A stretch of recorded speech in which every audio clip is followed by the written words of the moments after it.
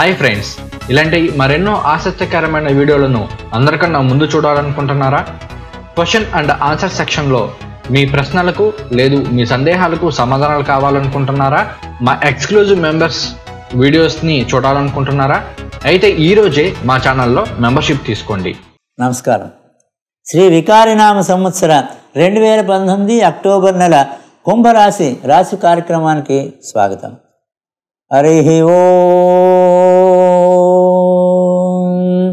శ్రీ గురుభ్యో నమ శ్రీ మహాగణాధిపతిభ్యో నమ వాగ్దేవి మహాసరస్వత్యై నమ హరి ఓం రెండు వేల పంతొమ్మిది అక్టోబర్ నెల కుంభరాశి ఫలితాలు కుంభరాశికి అధిపతి ఎవరండి మకర రాశికి కుంభరాశికి కూడా శని అధిపతి అయితే ఇందాక శని గురించి చెప్పుకున్నాం కదండి మకర రాశిలో అవే కుంభరాశికి కూడా పనికొస్తాయి అంటే పనికిరాదు. కుంభరాశికి వేరే వస్తాయి. సాయం ఒకడే అధిపతి అవ్వచ్చు.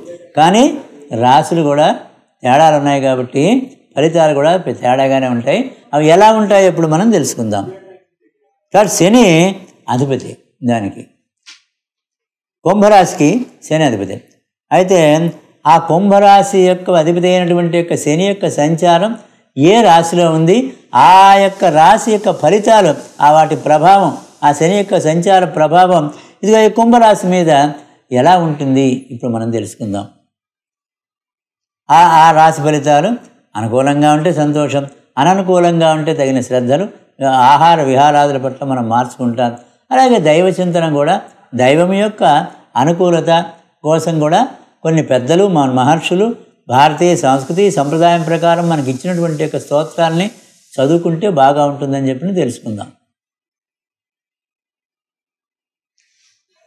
ఇప్పుడు శని యొక్క సంచారం ఈ అక్టోబర్ నెల మాసం అంతా కూడా ధనురాశిలో సంచరిస్తూ ఉన్నాడు. ధనురాశి అంటే ఇప్పుడు కుంభరాశికి ధనుర్రాశి ఏమవుతుందండి? కుంభరాశికి ధనుర్రాశి లాభరాశి అవుతుంది. లాభరాశిలో సంచరిస్తూ ఉన్నాడు. కాబట్టి కుంభరాశి వారికి రాశ్యాధిపతి అయిన యొక్క శని లాభరాశిలో సంచరిస్తూ ఉన్నాడు కాబట్టి అన్నీ లాభదాయకంగా ఉంటాయి. అది కుంభరాశి వారి యొక్క విశేషం. అంతేకాదు లాభంలో సంచరించడం వలన తలపెట్టిన అన్ని కార్యక్రమాలు కూడా నిదానంగా విజయ విజయవంతం అవుతాయి. అలాగే అత్యంత శుభదాయకంగా ఉంటుంది. కుంభరాశికి శని వ్యయాధిపతి కూడా. ఎందుకంటే కుంభరాశికి వ్యయంలో ఉండేది మకర రాశి. మరి వ్యయాధిపత్యం కూడా ఉంది శనికి. వ్యయాధిపతి కూడా. వ్యయాధిపతి లాభంలో సంచరిస్తున్నాడు. మరి దీనికి ఏం చెప్తామండి? వ్యయాధిపతి లాభంలో ఉన్నాడు. అంటే దానికి ఏం చెప్పుకోవాలి మనం అని చెప్పినానంటే ఉదాహరణకి మనం ఎక్కడైనా ఓ పదివేలు ఇన్వెస్ట్మెంట్ చేసామని అనుకోండి అది కొద్ది రోజులు పోయిన తర్వాత దానికి రెట్టింపు అయ్యి మనకి మళ్ళా వస్తుంది. అదిగే ఇప్పుడు మరి? వ్యయాధిపతి లాభంలో ఉన్నాడు అంటే ఒక కొద్దిగా మనం వ్యయం చేస్తే ఎక్కడైనా ఇన్వెస్ట్మెంట్ చేసుకుంటే అది రెంటింపు అయ్యి మళ్ళా మనకి లాభంగా వస్తుంది. అది శని యొక్క సంచారం ఈ నెలలో ఈ యొక్క కుంభరాశి వారికి. తర్వాత గురు యొక్క సంచారం. గురు సంచారం వృశ్చిక రాశిలో ఉంది. వృశ్చిక రాశిలో అంటే రాజ్యస్థానంలో సంచారం జరుగుతుంది. అంటే పదింటి సంచారం జరుగుతుంది. పనులన్నీ కూడా నెరవేరుతాయి. గురువుగారి యొక్క సంచారం మూలంగా పదింట రాజ్యస్థానంలో గురు సంచారం మూలంగా కుంభరాశి వారికి చక్కగా పనులన్నీ కూడా నెరవేరుతాయి జయప్రదంగా ఉంటుంది. శుభ సంచారం ఇది. కించిత్ శ్రమ కలిగిన తాత్కాలికంగా నష్ట సూచనలు ఉన్నప్పటికీ కూడా మొత్తం మీద శుభదాయకంగా ఉంటుంది లాభదాయకంగా ఉంటుంది ఈ రాశి వారికి. రాహు యొక్క సంచారం ఎలా ఉంది? రాహు సంచారం రాహు మిథున రాశిలో సంచరిస్తూ ఉన్నాడు. కుంభం మీనం మేషం వృషభం మిథునం. అంటే ఐదింటి సంచారం జరుగుతుంది. మిథున రాశి ఎందు పంచమ స్థానంలో జరుగుతుంది ఇది. అంటే పంచమ స్థానం కూడా సామాన్యమైనటువంటి ఫలితాలు ఇస్తాడు విపరీతమైన రాజయోగాలు అలాంటివి మనం అనుకోవడానికి అవకాశం లేదు. కాబట్టి రాహువు యొక్క సంచారం సామాన్యంగా ఉంది. తర్వాత కేతువు యొక్క సంచారం. కేతుగ్రహ సంచారం ధనురాశిలో ఉంది. అది కూడా లాభస్థానంలోనే లాభస్థానంలో ఉంటేనే లాభాన్ని ఇస్తాడు. దీనికి తోడు కేతువు సువర్ణమూర్తిగా సంచరిస్తూ ఉన్నాడు.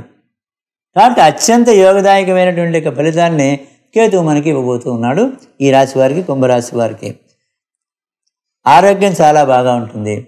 ఈ యొక్క కేతు సంచారం మూలంగా శుభ పుణ్య కార్యాల్లో పాల్గొంటారు. అలాగే ధార్మిక కార్యక్రమాల్లో పాల్గొంటారు. ఆధ్యాత్మిక కార్యక్రమాల్లో పాల్గొంటారు. ఇవన్నీ కూడా గ్రహ సంచారం మూలంగా జరిగేటువంటి విశేషాలు. కేతు గ్రహ సంచారం. ఇప్పుడు రవిగ్రహ సంచారం ఎలా ఉంది? ఒకటి నుంచి పద్దెనిమిది వరకు కూడా కన్యా రాశిలో ఎనిమిదింటి సంచరిస్తూ ఉన్నాడు. కన్యారాశిలో అంటే కన్యారాశి ఇప్పుడు మనకి కుంభరాశికి ఏ రా ఏ స్థానం అవుతుంది ఎనిమిది అవుతుంది. అష్టమంలో ఉండేటువంటి యొక్క ఏ గ్రహ సంచారమైనా మనకు శుభపరిణామాలు ఇస్తుందా? అనుకోవడానికి వీల్లేదు.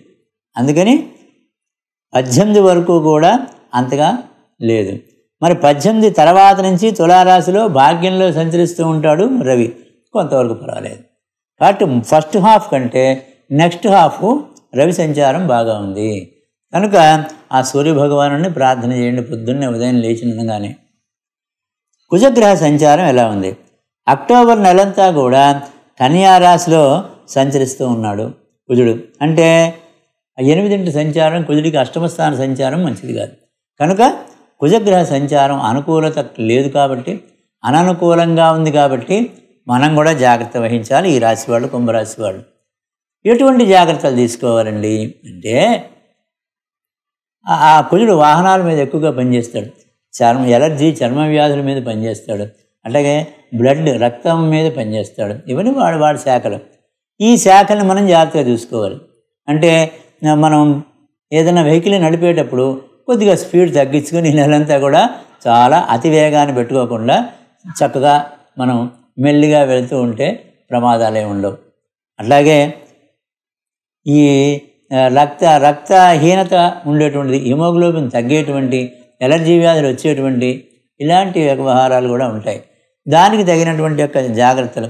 మనకి పడని వస్తువులు ఉంటే ఎలర్జీలు వస్తాయి. అలాగే డస్ట్ ఎలర్జీ వస్తుంది. ఇలాంటి ఎలర్జీలు రాకుండా మనం ఆహార పదార్థాలు కొంతమంది గోంగూర తింటే పడదు కొంతమంది టమాటా తింటే పడదు. అలాంటివి మనం జాగ్రత్త వహించి యుక్త ఆహార విహారాదుల్లో ఉంటే కుజగ్రహ సంచారం మనకేం ఇబ్బంది లేదు బాగానే ఉంటుంది. అలాగే శుక్రగ్రహ సంచారం ఎలా ఉంది? శుక్రగ్రహ సంచారం కన్యారాశిలో అంటే ఆ అక్టోబర్ నాలుగో తారీఖు వరకే ఒకటి నుంచి నాలుగో తారీఖు వరకు కన్యా రాశిలో ఎనిమిదింట సంచారం చేస్తున్నాడు. అదంత అనుకూలమైన సంచారం కాదు. నాలుగు రోజులేగా అక్టోబర్ ఒకటి నుంచి నాలుగు వరకే. ఐదో తారీఖు నుంచి నెలాఖరి వరకు కూడా భాగ్యస్థానంలో సంచరిస్తూ ఉన్నాడు. శుక్రుడు ధనలాభాన్ని ఇస్తాడు. భాగ్యంలో శుక్రుడు సంచారం జరుగుతుంటే ఏమి ఇవ్వడండి? అన్ని ఇస్తాడు. కాబట్టి కుంభరాశి వారికి కొన్ని గ్రహాలు మీకు అనుకూలత లేకపోయినప్పటికీ కూడా శుక్రగ్రహం యొక్క సంచారం మంచి తొమ్మిదింటి జరుగుతుంది. ఈ నెలంతా కూడా చాలా యోగదాయకంగా ఉంటుంది మీకు. కాబట్టి ఈ గ్రహ సంచారం వలన శుభకార్యముల్లో పాల్గొంటారు. వాహ వాహనములు భూములు ఇళ్ళు అపార్ట్మెంట్లు పొలాలు ఇలాంటివి కొనుగోలు చేసేటువంటి యొక్క సూచనలు కూడా కనబడుతున్నాయి. అలాగే కుటీర పరిశ్రమలు చేతి వృత్తుల వారికి కూడా చాలా కలిసి వచ్చేటువంటి యొక్క కాలం ఇది. తర్వాత కీర్తి ప్రతిష్టలు పెరుగుతాయి. న్యాయవాదులకి డాక్టర్లకి వీళ్ళందరికీ కూడా ధనాదాయం బాగా ఉంటుంది. ఈ రాశిలో ఉండేటువంటి వాళ్ళకి. అలాగే ఉద్యోగులకి బాగా ఉంటుంది ఈ నెల. అలాగే కళాకారులకి స్త్రీలకి కూడా చాలా బాగా ఉంది. వాళ్ళ ప్రతిభకు తగినటువంటి గుర్తింపు లభిస్తుంది. ఏదో జీవనోపాధి కూడా ఏర్పాటు అవుతుంది అలాగే వ్యాపారస్తులకి కూడా చాలా బాగా ఉంది. విద్యార్థులకి గురుబలం బాగానే ఉంది కాబట్టి వాళ్ళకు కూడా మంచి మార్కులు వస్తాయి. వ్యవసాయదారులకి పర్వాలేదు. ఇప్పుడు మాసాధిపతుల గురించి మనం చర్చించుకుందాం. ఈ మనం కుంభరాశి. కుంభరాశిలో ఉండేటువంటి నక్షత్రాలు ఏమిటి? ధనిష్ట మూడు నాలుగు పాదాలు. ధనిష్ట మూడు నాలుగు పాదాలకి మాసాధిపతి కేతువు. కేతువు యొక్క ఫలితాలు ఏమిటాయంటే అననుకూ అననుకూలత ఉండదు కానీ ఆకస్మిక ధనలాభం ఉంటే ఉంటుంది ఒకప్పుడు. అలాగే ఆధ్యాత్మికంగా మన యొక్క మనస్సు పోతూ ఉంటుంది. ధార్మికమైనటువంటి యొక్క కార్యక్రమాలకు మనం చేయూతనిస్తాం. దాంట్లో పాల్గొంటారు. సో అటువంటివన్నీ కూడా ఈ యొక్క కేతు ఇస్తాడు ధనిష్టా నక్షత్రం వారికి మాసాధిపతిగా. ఆదిత్య హృదయ స్తోత్రం చదువుకోండి. ఈ యొక్క ధనిష్టా నక్షత్రం మూడు నాలుగు పాదాల వాళ్ళు. అలాగే శతభిష నక్షత్రానికి మాసాధిపతి చంద్రుడు అవుతాడు. చాలా గ్యామ్ పెట్టుకొని మరొక మాట చెప్తున్నాను. శతభిష నక్షత్రం వారికి అధిపతి రాహు అది వేరు. ఇక్కడ శతభిష నక్షత్రానికి మాసాధిపతి చంద్రుడు. చంద్రుడు చంద్రుడి యొక్క విశేష ఫలితాలు తలసిన పనులన్నీ కూడా జయప్రదంగా ఉంటాయి. శుభకార్య ప్రసంగములు ఉంటాయి. సుఖభోజనం ఉంటుంది. మంచి వార్తలు వింటారు. వ్యాపార లాభం ఉంటుంది. ఉద్యోగ లాభం ఉంటుంది. మరి మంచి గౌరవాలు లభిస్తాయి. ఇవన్నీ కూడా చంద్రుడు ఇచ్చేటువంటి యొక్క మాసాధిపత్యంగా ఇచ్చేటువంటి యొక్క ఫలితాలు. కాబట్టి ఆ శతభిష నక్షత్రం వారు ఇవన్నీ కూడా పొందబోతున్నారు. శుభ పరిణామాలు ఇవన్నీ కూడా. అయితే దుర్గా కవచం కూడా చదువుకోండి.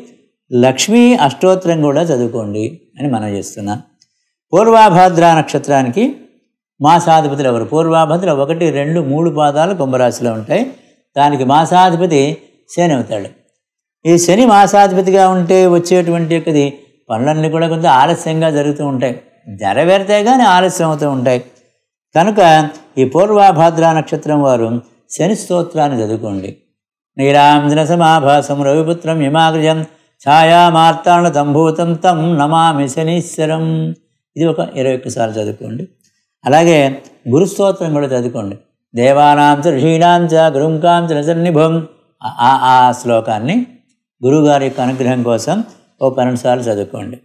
అదృష్ట సంఖ్య ఎనిమిది కుంభరాశి వారికి. రెండు మూడు ఆరు తొమ్మిది తేదీలు సంఖ్యలు మంగళ శుక్ల సోమవారాలు కూడా ఫలిస్తాయి కలిసి వస్తాయి అని చెప్తూ సర్వేదనా సుగుణో భవంతు స్వస్తి.